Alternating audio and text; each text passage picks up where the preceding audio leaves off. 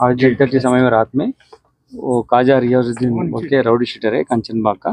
वो हमारा Meerpet area area में उठाए थे वो घर इधर ही। है उधर एक फ़ूड मर्चेंट है वो वो काम करके घर आ रहे समय इधर उनका कुछ दूसरे लोगों से भी एनिमोसिटी है। आने के समय कार में आके उनको डैश करके वो नीचे गिरने के बाद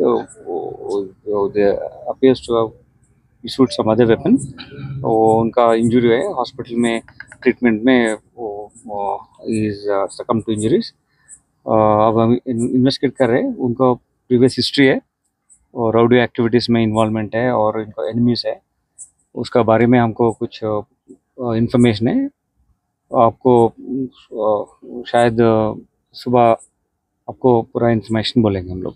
इस ब्लड मिला कुछ ब्लड हाँ वी आर इन्वेस्टिगेटिंग तो तो इधर ही है। देख सकते हो but we are investigating it अब ये समय में इतना ज़्यादा से मैं इन्फॉर्मेशन नहीं देना चाहता हूँ because it will harm the investigation sir ఇప్పుడు వాళ్ళని అదుపులోకి తీసుకున్నారా సార్ వాళ్ళ ఫ్రెండ్స్ కానీ వాళ్ళని? మేము ఇప్పుడు చెప్పలేము ఇది మేము ఇన్వెస్టిగేషన్లో ఉన్నాం టీమ్స్ అన్ని టీమ్స్ ఉన్నాయి దీంట్లో మా ఎస్ఓటి టీమ్స్ కానీ టెక్ టీమ్స్ కానీ ఆ, మా లోకల్ ఆఫీసర్స్ ప్రొఫెషనల్గా ఏమైతే ఎవిడెన్స్ కలెక్ట్ చేయాలో అవి చేస్తున్నాం By this time tomorrow will come back to with full details sir a police rowdy sheeter అని అతను కంచన్ బాగ్ ఎన్ని కేసులు ఉన్నాయి సార్ సిక్స్ కేసెస్ అక్కడ ఉన్నాయి.